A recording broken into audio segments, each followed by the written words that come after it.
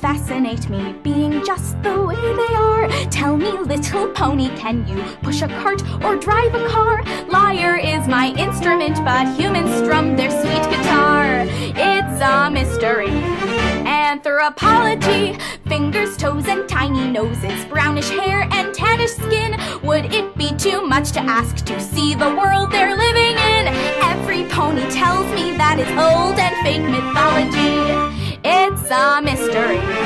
Anthropology, aren't you bored of brushing your coat? Styling your mane with your hooves. I don't mean to butt in or gloat, but ancient history proves humans don't have wings or magic. They don't need it, they don't care. All they've got's imagination. New inventions everywhere. Children, teens, and elders all alike have clothes to wear. It's so real to me. Anthropology, Albert Einstein, Cleopatra, William Shakespeare, Elton John, Michael Phelps, Barack Obama. Who's to say that they're all gone? Maybe humans like us too and dress like us at Comic Con. It's so real to me.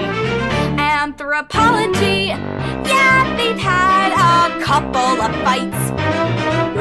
Nobody's perfect, you see. Still, I say I'm born with the rights to study whatever I please.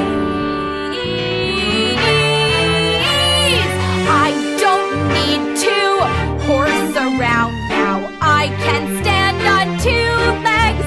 I would trade my magic powers